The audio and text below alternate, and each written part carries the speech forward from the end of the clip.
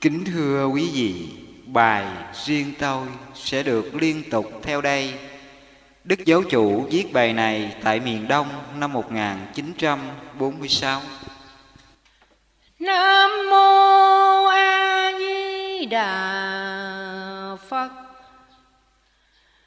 Rực áo cà ra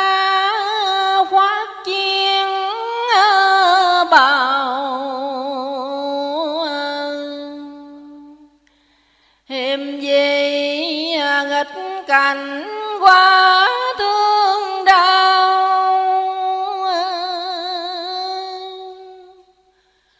Bên rừng tạm gợi thân của à, hoành.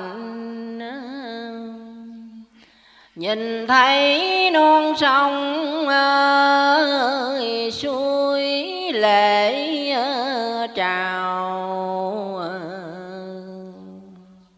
Nhìn thấy non sông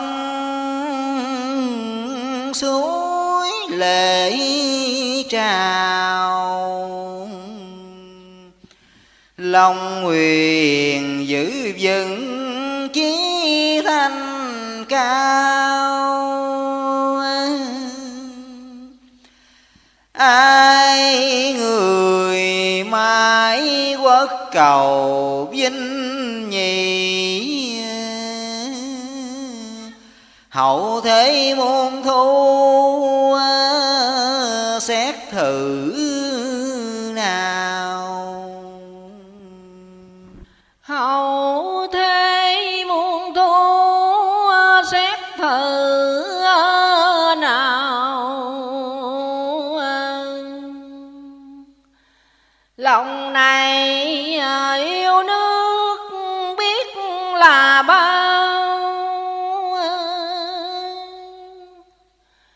Vì ai reo rắc điều hồ mì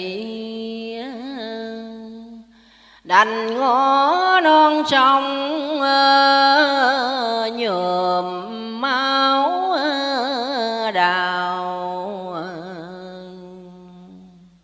đành ngõ non sông nhuộm máu đào.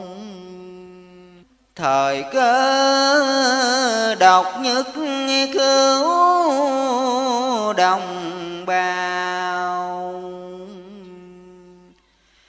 Muôn ngàn chiến sĩ chờ ra trần bồng dương gông cùm chốn ngục lao. Nam mô a di đà phật.